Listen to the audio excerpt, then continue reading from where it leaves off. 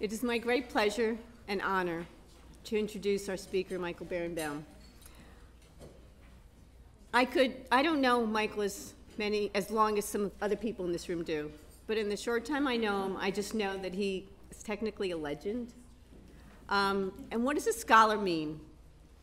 Well, a scholar means that you will not forget the words that he will tell you tonight, and please remember and share the message you're going to hear.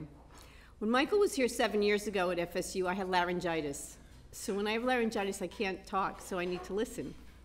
So I learned very well how to really pay attention, and I remembered everything he said that night. But then recently I found out that he has touched many, many people over the years. And I could go on and I could tell you how many books he's written and the movies he's produced and how he created and helped create the United States Holocaust Memorial Museum and among many other things and help many testimonies get put together from the Shoah Foundation. But I learned something else that Michael became very important to, special, to some special people along the way. Um, last year I attended the American Associ the Association of Holocaust Organization Conference. And the president stood up and he said, when I was way, way back, when I was a teacher in Queens, I had a student in my middle school and he was a very smart kid. And he's sitting here today. Then the next day, I'm sitting in this conference and another man stood up and he said, I'd like to say that I feel very proud that I was in the same high school as Michael Berenbaum. But I want to ask everybody here in this room tonight, who graduated from Florida State University, raise their hand. And I see Michael raise his hand too.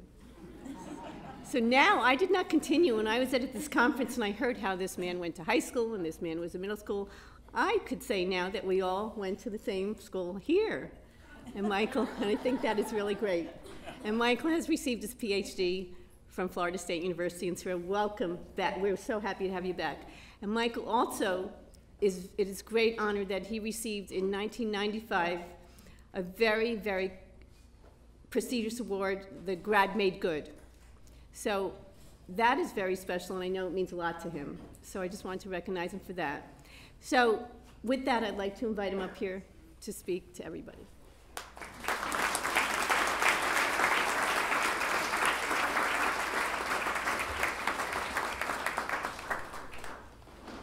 Thank you very much for a lovely introduction. Um, um, and Barbara add, added something. Uh, the last time I was introduced like that was yesterday, where one of the students got up and said, in 1995, Michael Berenbaum um, was honored with the Grad May Good Award, but I wasn't alive then.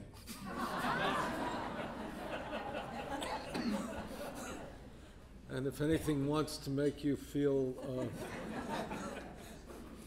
uh, and the other thing is, I'm always cognizant of exactly how long it was since I left Tallahassee because I left Tallahassee with uh, my oldest daughter being two weeks old. And um, we also had a very humorous thing which uh, Leon uh, Tallahassee um, uh, um, hospital will um, not forget, which is that uh, we were students in Florence and we decided we were going to have kids and we decided to get um, uh, you know child uh, uh pregnancy and birth insurance. And the rule of that was it went into um, it went into use on the 270th day. And um, little did they tell me, except in my early sex education courses, that if you make love to your wife, she could get pregnant that night. And then we were counting down whether we could enter the hospital at 6 in the evening, 8 in the evening, 10 in the evening, 12.01, or whether they had a provision that you started at 5 o'clock in the morning or something. And we called up about six times in the evening as the contractions were getting closer and closer to find out when we would qualify. and when we finally checked in, the woman said, "You have not, we have called the insurance company four times with these questions, and you have qualified." And within an hour, my daughter was born.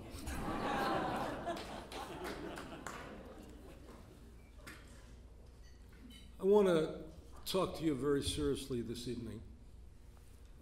And I want to talk to you seriously this evening by picking on uh, uh, one more um, cute story. Many years ago, John Lindsay um, told a story about Arthur Goldberg, who was a wonderful justice but could talk on and on and on. And he said, Last night I spent a month with Arthur Goldberg. and I can say that I've been here about uh, 36 hours, but you should know that Barbara has had me working. This is about my fourth or fifth address. and luckily, not all of you have attended each address, so I may repeat myself, but I can have the feeling that uh, yesterday I spent a month in Tallahassee, but in the good sense of the term. I'm asked sometimes what I would like to happen in the future of my career. And I'm going to tell it to you in a very simple way, which is I dreamed that I became irrelevant. And the reason I dream I became irrelevant because when we're creating the ending of the United States Holocaust Memorial Museum, if you had the perfect ending of the United States Holocaust Memorial Museum, you would have said this is the way 20th century humanity behaved. They saw the magnitude of evil that could occur.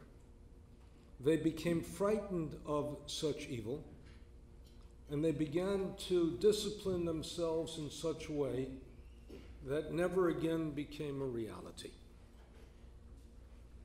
If you ask how Yad Vashem should end, Yad Vashem should have been able to end in a world in which the Jews learned that landlessness and statelessness and powerlessness invites victimization they came home, they became an integral part of the neighborhood in which they lived, and they were able to flourish and to thrive at peace with their neighbors in a world that appreciated the contribution that they could make to the region.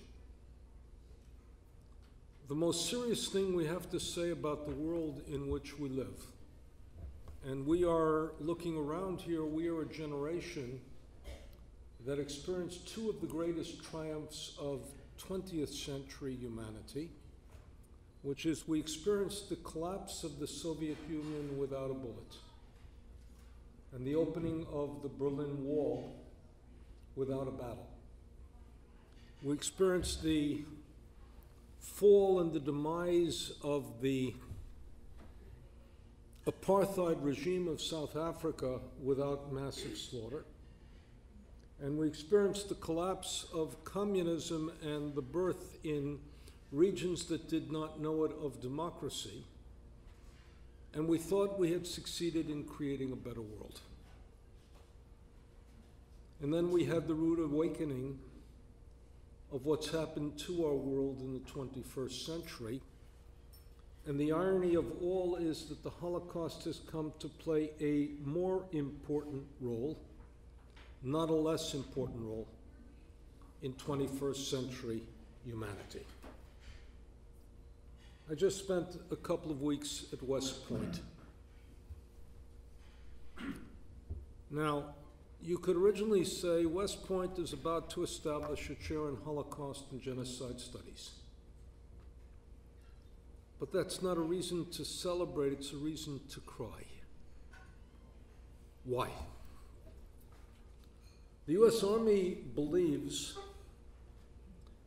and they're not incorrect in their belief, and we have to, as Americans, be not pleased, but be respectful of that belief. They believe that the shape of warfare in the 21st century is going to be engagement in genocidal conflicts. And they want to learn about 20th century humanities and their genocidal conflicts to be able how to learn how to be effective in the 21st century. They have a realization of what our world has become, And as they have a realization of what our world becomes, they want to learn from the past to be prepared to engage what they seem they seems likely they will have to face in the future. And nothing would be a greater joy than to be able to tell them that they are wrong. But none of us would have the courage to imagine that they are not wrong because of what we see on the horizon. And I've been asked to do something with you this evening, which is to talk a little bit about, and I wrote a book on this the known, the unknown, uh, the, the re examined, and the um, reconsidered. And I want to talk about four or five works that we have now in the field, which shape, very importantly, shape how an understanding of the past may contribute to a different understanding of the future and provide for us a warning. All of this is to underscore the importance of what you're doing.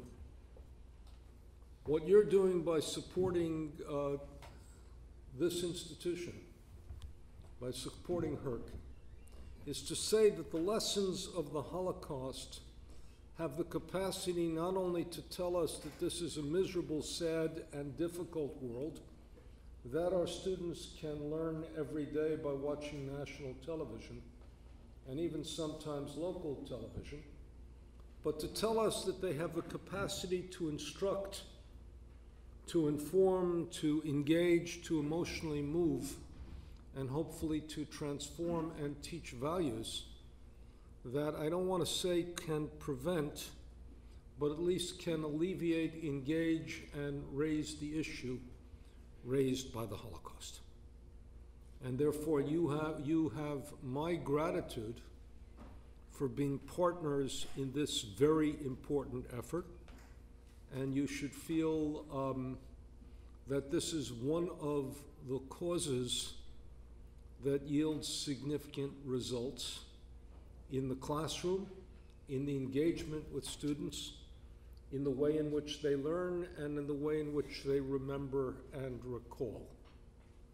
So I'm going to talk for a couple of moments about some scholarly contributions, but they're going to reflect the way in which these issues, the real way in which these issues are unfortunately all too prevalent today. Let me touch on a very important book just came out about a month and a half ago. It's by a Yale historian called Tim Snyder, and it's called The Black Earth. And Snyder has been examining the region of the Ukraine, Lithuania, Latvia, and the Ukraine in particular for many years. And he, in fact, wrote an earlier book on the famine in the Ukraine that linked it, and in many respects, he spoke of the area as suffering with a double genocide first, the genocide of the allocation of resources by the Soviet Union, and then the genocide that was perpetrated by the Nazis, and they were victimized twice. He raises an interesting hypothesis. He's wrong in a couple of issues, but we don't have to deal with that. But his overall hypothesis is a very interesting one, and, and let me just add that. What made the Ukraine unique to undergo famine is that the Ukraine was the breadbasket of Europe. Think of the Ukraine in our terms as Iowa, and think of Iowans being unable to eat bread, wheat, corn. Inconceivable. If Iowa can't grow food, who can grow food? And if the Ukraine can't grow food, and they could grow food, but they couldn't allocate food, and for them to undergo famine is one of the most massive failures of states imaginable.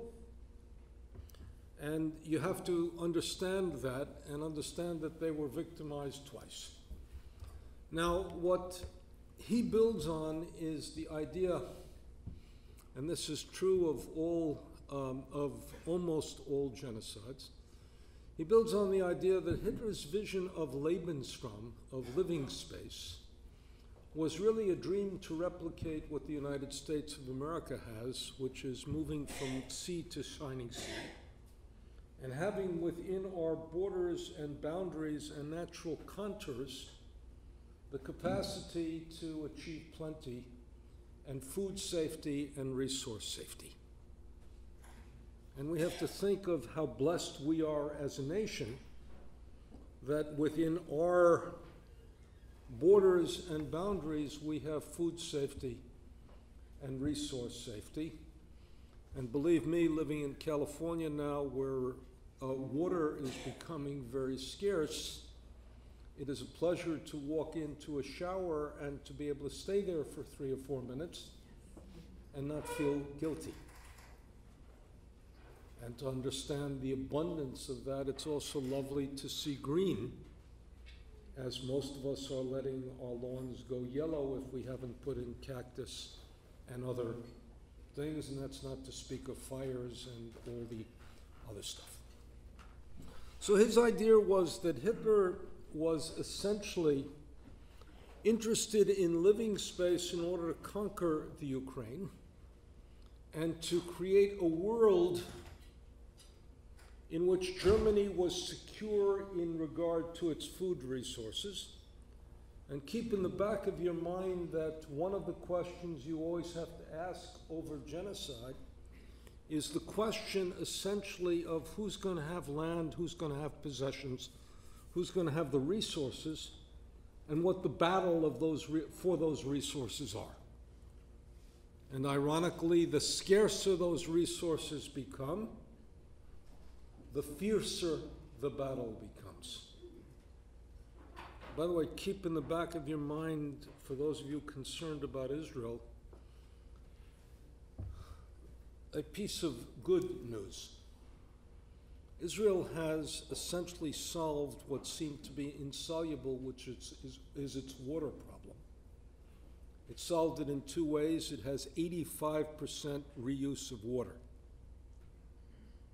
Compare that with the maximum in any state in the United States is 17%.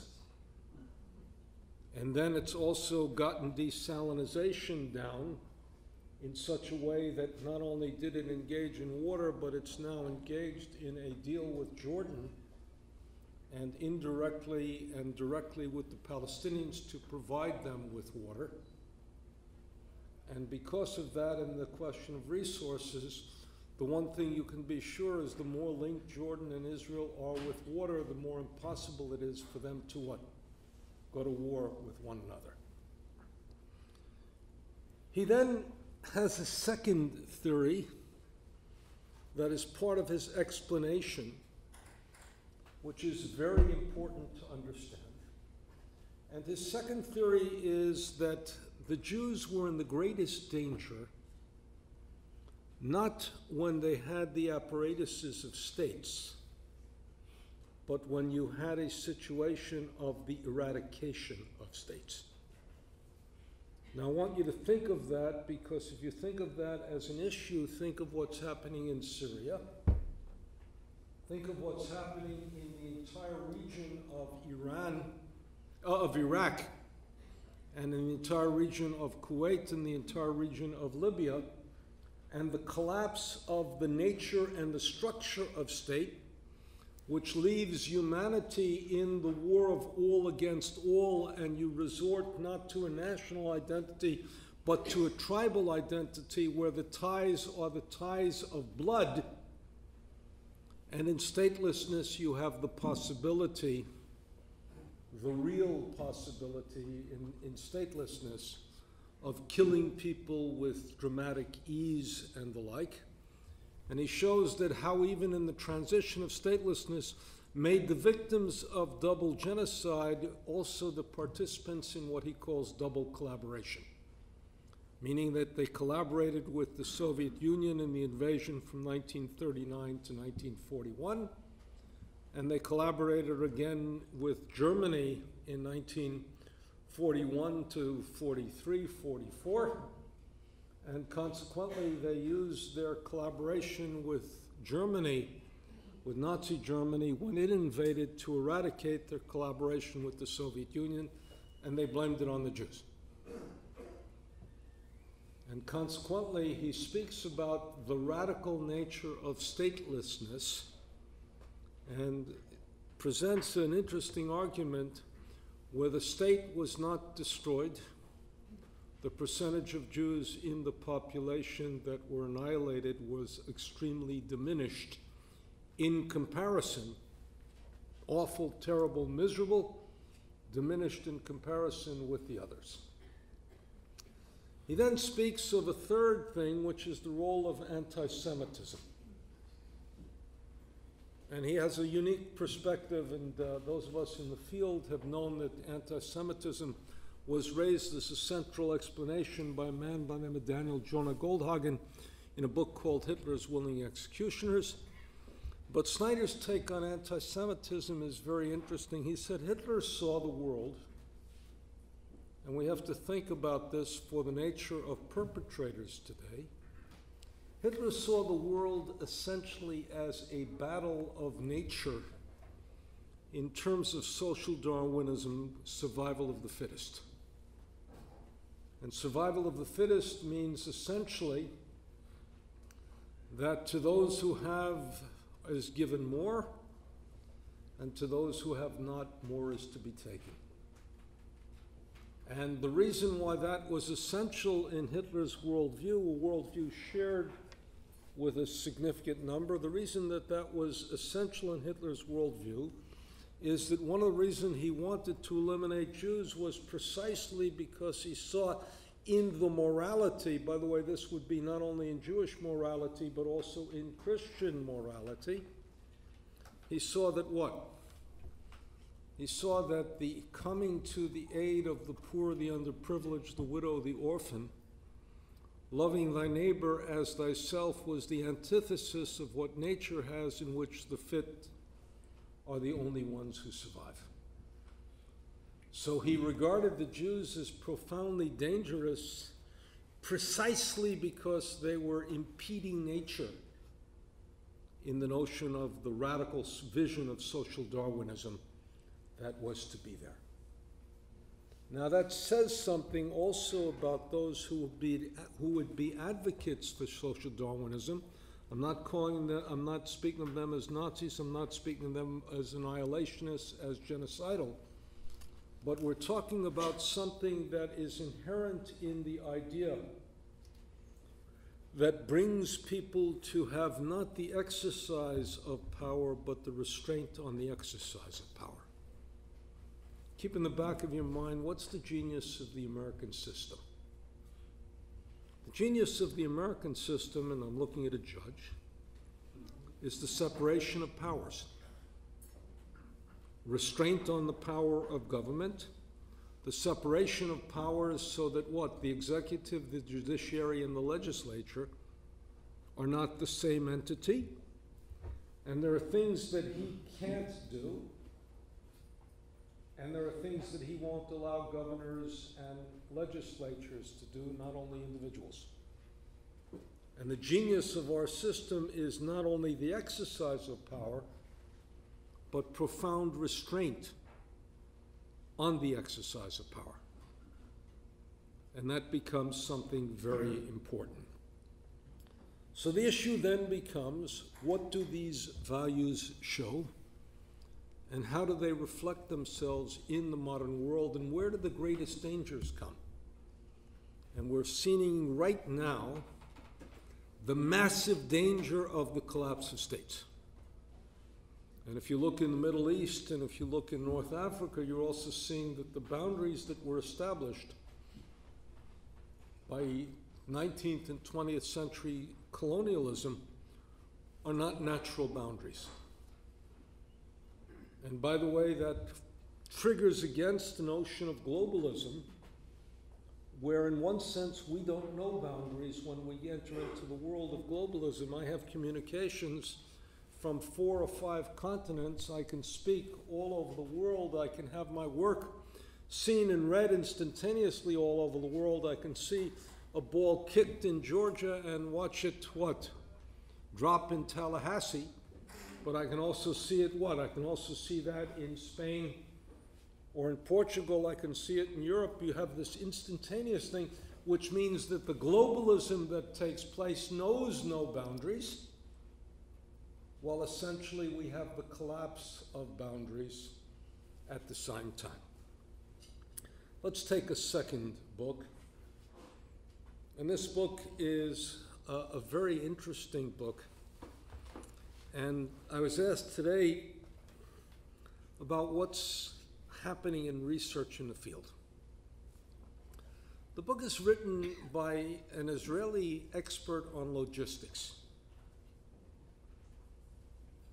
Now you got to ask yourself, what the hell does logistics have to do with the Holocaust?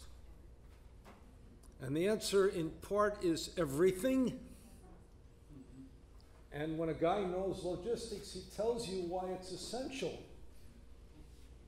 And by the way, if you, if you want to think of the modern world and you want to talk about logistics, let's take a very simple thing.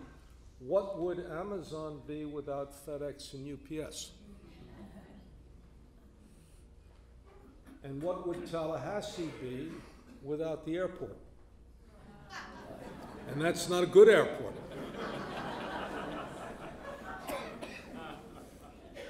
And betting on connections, I just want to give you um, uh, David's father was a graduate of Hebrew Union College, which was established in Cincinnati, which was the fastest growing city in America in 1840 because it bet on the Ohio Railroad.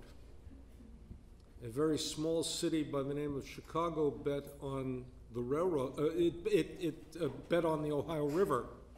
And a very small city named Chicago bet on the railroad system. And you saw what happened to both cities over the course of the next century. And Chicago then built its airport in the way Atlanta built its airport. And all of a sudden, something happens with regard to logistics. His thesis was very simply, has vast implications for us. His thesis was very simply, he hypothesized on the basis of logistics that the German army would be at war with the SS for the use of trains.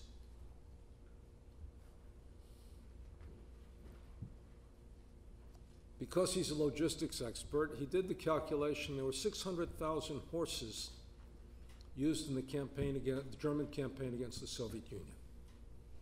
600,000 horses. He did the requirement for the number of trains. I don't remember it in distinction, but he proved to me the number of trains.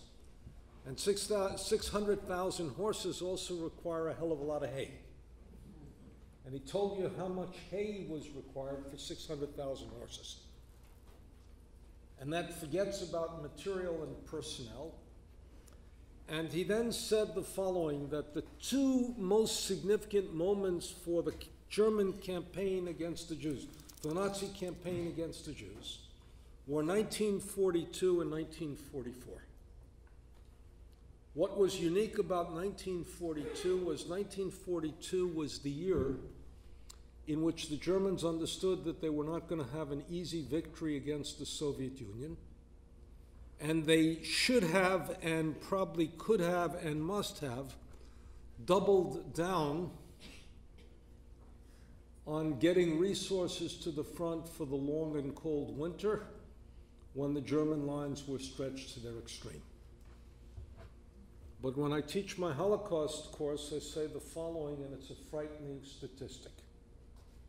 In 1942, when the conference at Wannsee was held, four out of five Jews who were to die in the Holocaust were still alive. Fifteen months later, four out of five Jews were dead. So if you want to know the Holocaust, you have to know the year 1942. It's the year in which the death camps came into operation, the railroads were used. And if you want to know the war, you have to know 1942. He then went into the files of the Wehrmacht and their bureaucratic battles for trains. And he saw that the chief opponent of the, of the SS was the Wehrmacht, not because it disapproved the killing of Jews, but because it needed what? Railroad cars. And why using them there, there when we need them here? Second time was 1944, and a very particular moment in 1944. On March, on March 19th, the Germans invaded Hungary. In April, they ghettoized the Jews, and from the 15th of May to the 8th of July, 437,402 Jews were deported on 147 trains, primarily to Auschwitz. There was a woman here whose mother and father came from Hungary. Her mother was in Budapest, which created a ghetto after 19, after the summer of, in the summer of 1944, and her father was deported to Auschwitz precisely in these 54 days, 447,402 Jews, 147 trains, an average of 2.75 trains a day, 2,950 Jews per train. And by the way, if those of you who have been to Auschwitz or been to Birkenau, notice that what they built were three tracks into the center of the camp. Why did they build three tracks? Because they needed three tracks, otherwise you can't get three trains in a day and three trains out a day. And consequently, they knew exactly what they were going to do when they built those tracks, which were only built in 1944. What was happening in the war in 1944? You all remember D Day, June 6th, the height of the deportation. You also all remember that the Soviet Union was advancing on Germany, moving into Poland where resources were desperately needed. What do we learn from this? We learned something remarkable, which is that in a society driven by hatred, driven by a maniacal hatred that becomes absorbed, they even act dramatically against national interest. If national interest is perceived as the safety and security of the population. That tells you something about the nature and the structure of evil. And it tells you something about how overwhelming was the desire to rid the world of this population by the Germans, most particularly by Adolf Hitler, but Hitler did not operate alone. He enjoyed a lot of support. And essentially, he operated against national interest if national interest was determined by winning the war. I did an experiment with this book, which is I took the raw material out and I gave it to two people. I gave it to the man who runs the largest trucking company in the United States, who's the child of Holocaust survivors. And I said, give this as a raw assignment to your men who plan, and they're men, I'm not being discriminating against women here, who plan your logistical routes and see if they can deliver this stuff. And I gave it to the guy who does scheduling for United Airlines. And I said, What would you do with this problem? The one guy brought it to a staff meeting and he said the guys were screaming at each other. Presented an abstract problem. He said, Don't take it, don't do it, doesn't matter how much we get, we're going to fall flat on our face. I don't care how much business is going to come in from this. We can't ship this amount with these resources no matter what. And the United uh, Airlines guy said,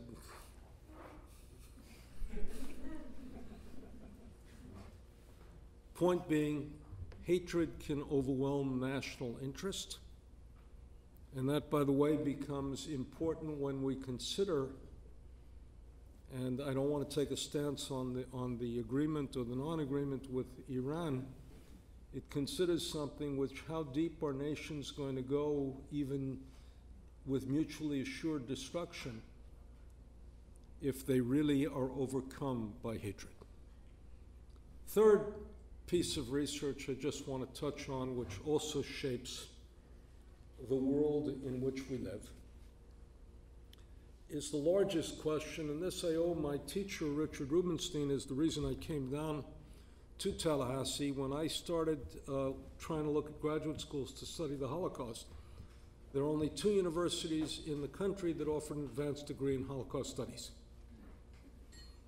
One was Temple University in the Department of Religion, the other was FSU, and my degree is technically in uh, history, in humanities, religion, and culture.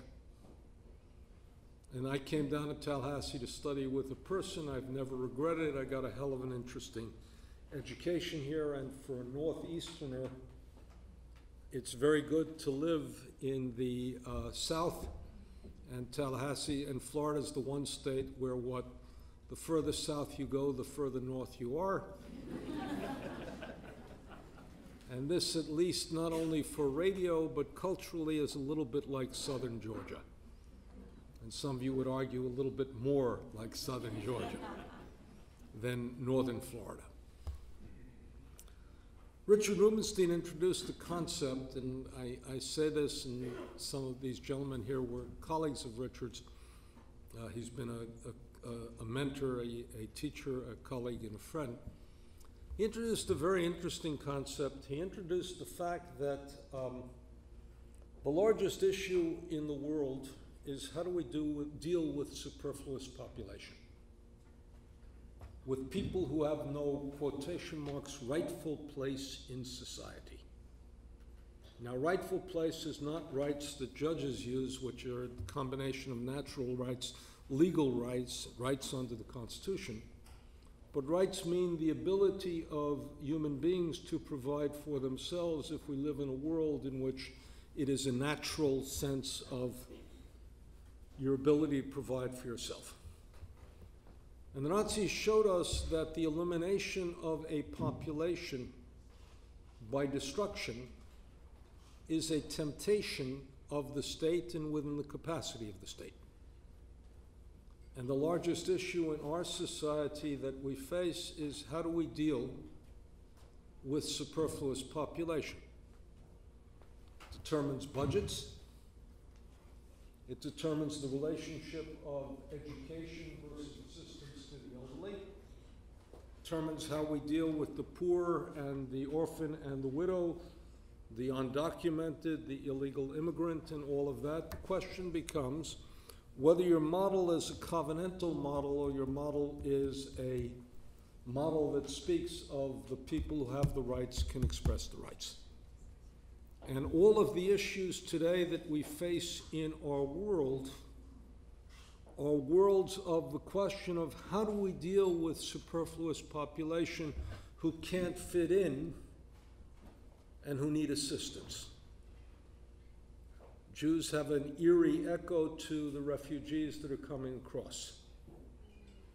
And when we hear some of the discussion of the refugees, some of us remember that it took until 1943 for the American government to understand that German Jewish refugees were anti Nazi.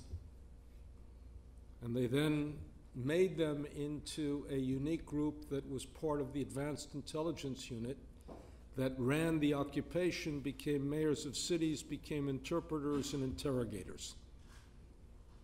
And um, they,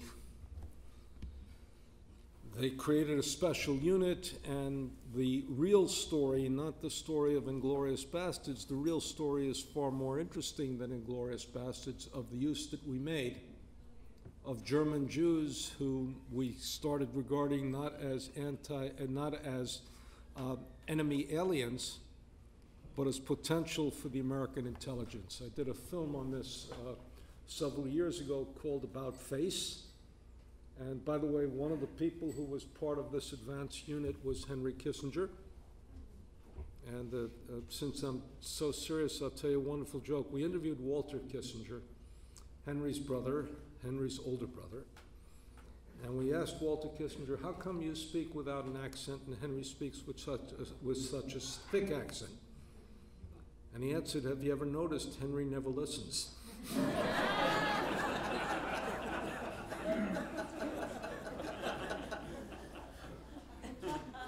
True story.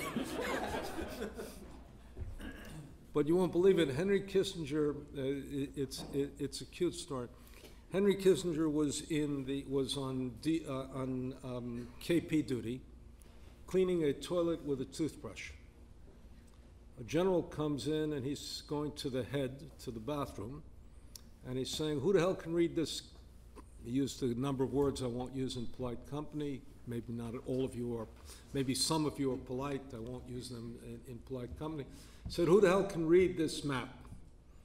Kissinger gets up off the floor and he says, I can read the map. Nine guys have guns out, pointed at his head. He's speaking with a German accent. He interprets the map, and the general says, What are you doing? He says, I'm KP duty for two weeks. He said, After you finish with KP duty, go to your commanding officer, I'll have you transferred to my unit.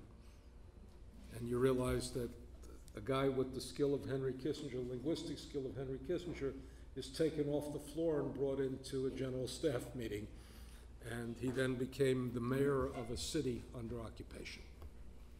But the largest point is that the issues raised by the Holocaust, the issues raised by the Holocaust are central issues in our day and in our time, and I wish they were not.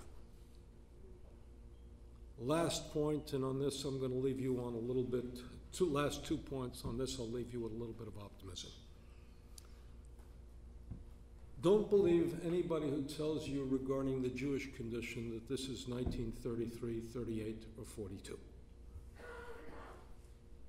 Anti- and don't believe that because we tell you it's not the Holocaust that anti Semitism isn't a real issue in our society.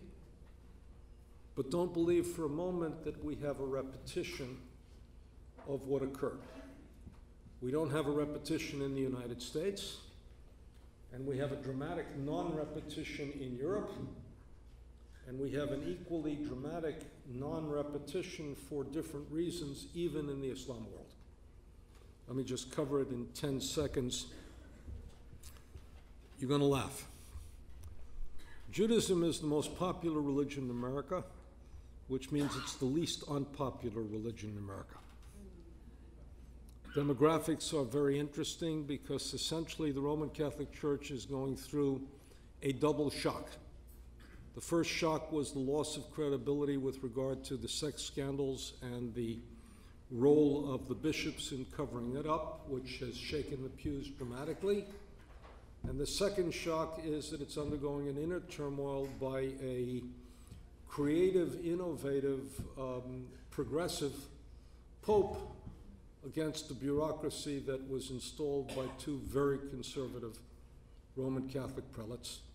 And therefore, the struggle in Roman Catholicism and against Roman Catholicism is significant in the United States. Give you one other statistic Roman Catholics have abortions in the same percentage general population. They use contraception, in the same percentage general population. They get divorced in the same percentage of the general population. Therefore, they're no better than the Jews. They're not listening to their clergy people either, with all due apologies to the rabbi. Protestantism is divided between evangelicals and liberals, and um, uh, nobody is particularly fond of the Muslims today because they fear that behind every Muslim is a potential terrorist. Therefore, Judaism becomes the least unpopular of the religions, the most popular. And that's, I'm not sure how long that will last, but I can only say for those of us who are Jewish, enjoy it while it lasts. Jewish history, Jewish history would say it's not going to last for a long time. What's the difference in Europe between the events? You have a very interesting phenomenon, which is that European leaders are proclaiming loudly and clearly that the Jews are a part of Europe. President of France, in the aftermath of what happened in France, said the following President and the Prime Minister said, France without its Jews is not France. Now imagine 70 years ago something like that being said. And therefore, he laid claim to these people as Frenchmen This in a society where Theodor Herzl found, founded Zionism because he heard during the Dreyfus trials what death to the Jews, because Dreyfus was not a Frenchman, couldn't be a Frenchman, he was Jewish.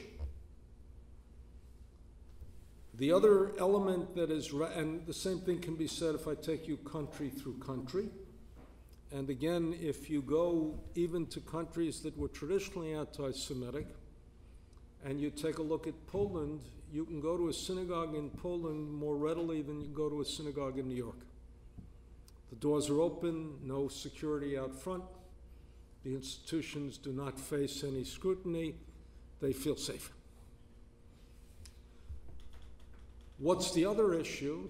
And Europe has massive problems, including the question of the uh, refugees and the undocumented and the migrants, uh, the, the, the Muslim populations and the migrants. The interesting thing is that the extreme right, which is anti immigrant, cannot join forces with the left, which may be anti Israel.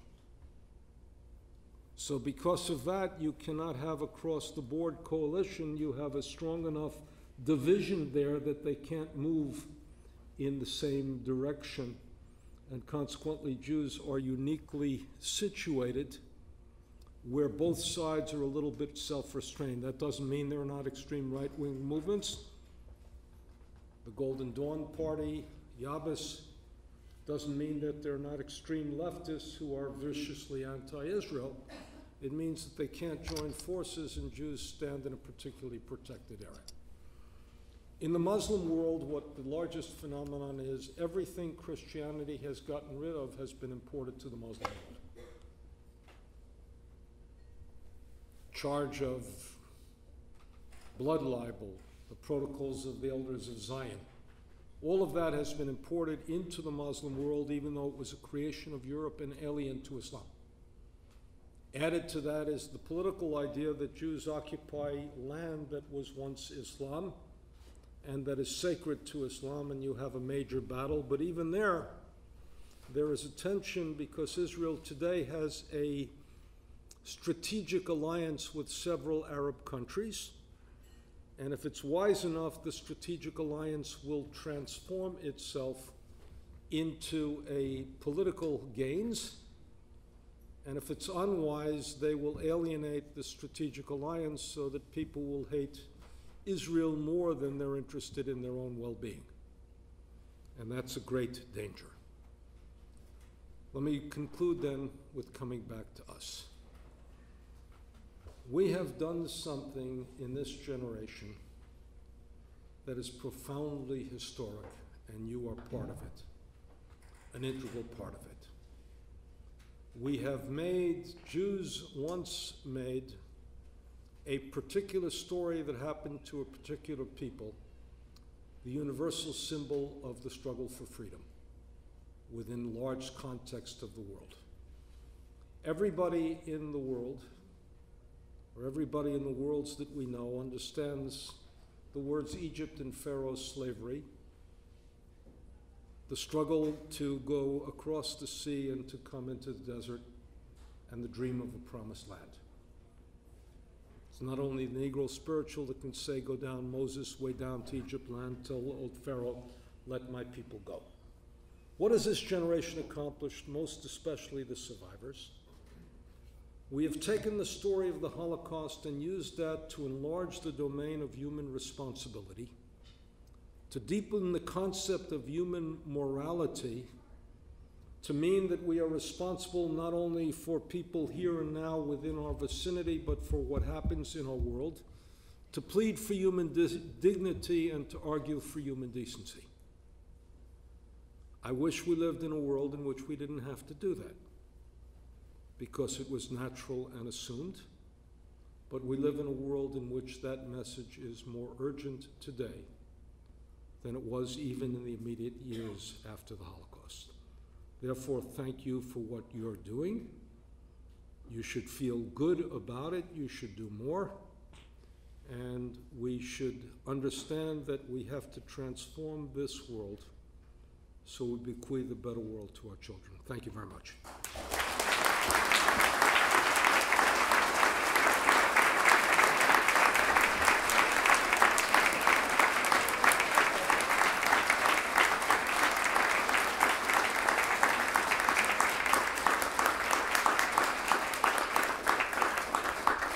Thank you. Do you mind if anybody has any questions? Okay. Is there any, anybody have any questions for Michael? Byron? Come on, come on up here. Let's, let me go back to the larger issue even before. Yeah, how do I feel about the issue of refugees in the world today, especially coming from Muslim countries, when hidden among them may be a fifth column?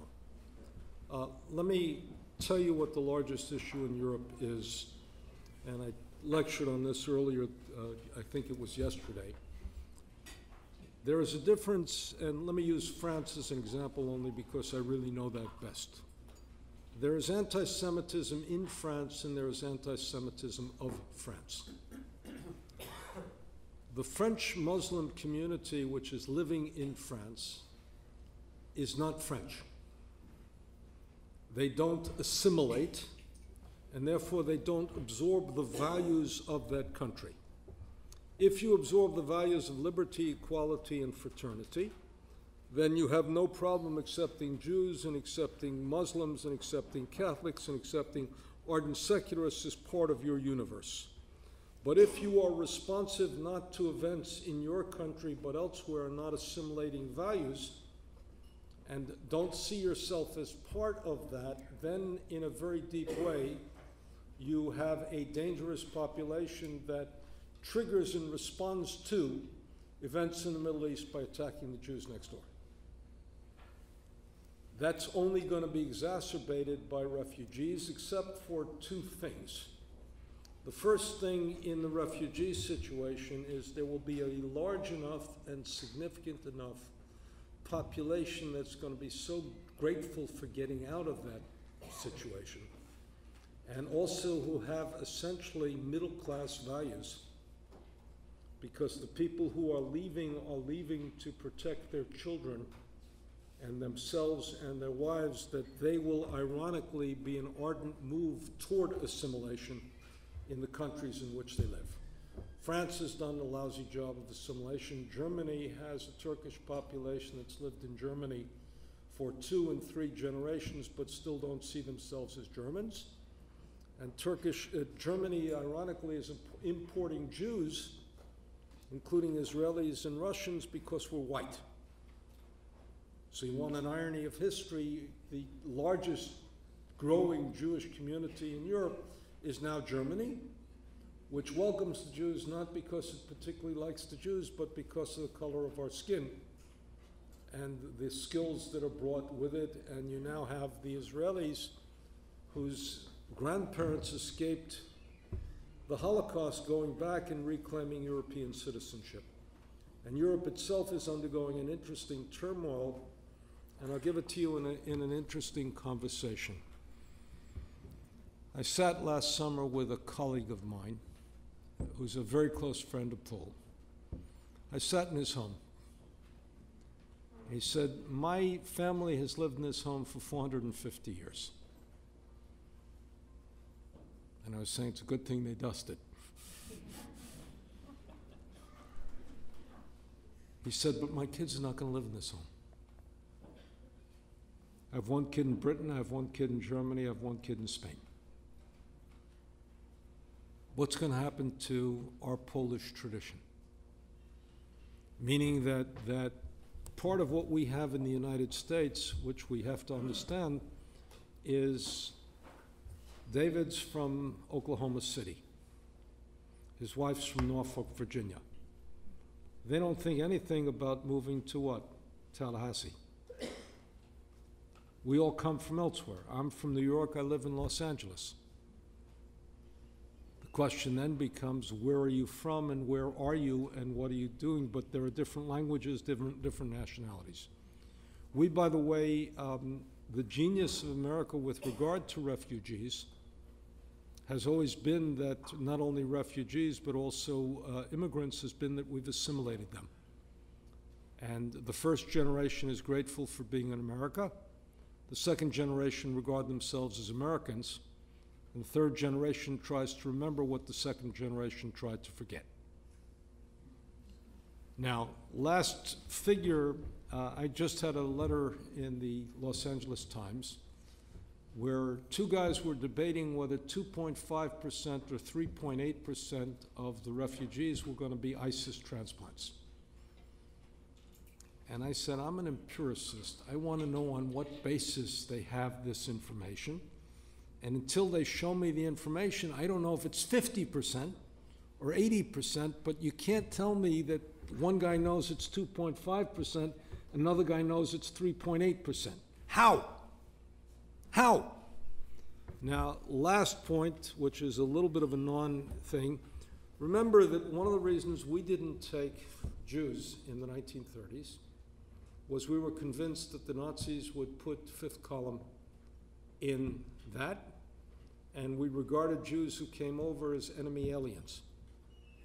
And some of you are even descendants of people who were regarded with deep suspicion because they were thought to be pro-Nazi. And by the way, we didn't, in, even in Iraq, we didn't learn the lesson that we had learned in the war in Germany, which is we didn't make significant use of the Iraqi expats who were anti-Iraq, anti-Saddam, but who had the linguistic skill. You had a thousand people in the embassy, only one of whom spoke Arabic. I mean, this, you know, you want to talk about State Department responsibility, ask a question, how do you have a thousand people in an embassy, one of whom speaks the language? And I live in the largest uh, Persian community that is in Los Angeles that is Farsi speaking. And I had to argue with a friend of mine who later who became head of personnel for the CIA in the revamping. You want native Farsi speakings, I'll give you native Farsi speakers, I'll give you native Farsi speakers. Why don't you have an office that recruits in Los Angeles so that you can begin to what? Why are you looking for Farsi speakings when you have all these people, all of whom hate the Ayatollah more than you do, who speak the language, and you make use of the refugees in order to accomplish a goal? The refugee situation in Europe is terrible. It is a result of letting a bad problem fester. It's a result of not having bombed Syria when it violated the thing. And if you ask me, if you say that if the President of the United States ever says that a foreign leader must leave office, he had better make good on that promise. And I say that as an ardent Democrat who, you know, uh, uh, was uh, disappointed that we didn't respond when a red line has been drawn. Either don't draw a red line, either don't call for, for um, uh, Assad's removal, or deliver on it, otherwise you weaken us all. Any other questions? Yes? It's engineering, the- if they had applied the resources from the Holocaust to the war effort, how long would the war have lasted? Well, it would have lasted longer because they would have been more fierce in their, they would have been more fierce in their opposition. They would have had the resources to do it, but remember, Germany was held up on the edge of Moscow. They were twenty some odd miles from Moscow. They were held up on, on Stalingrad, and they had the opportunity to enter these societies. They didn't provide winter clothes for their soldiers.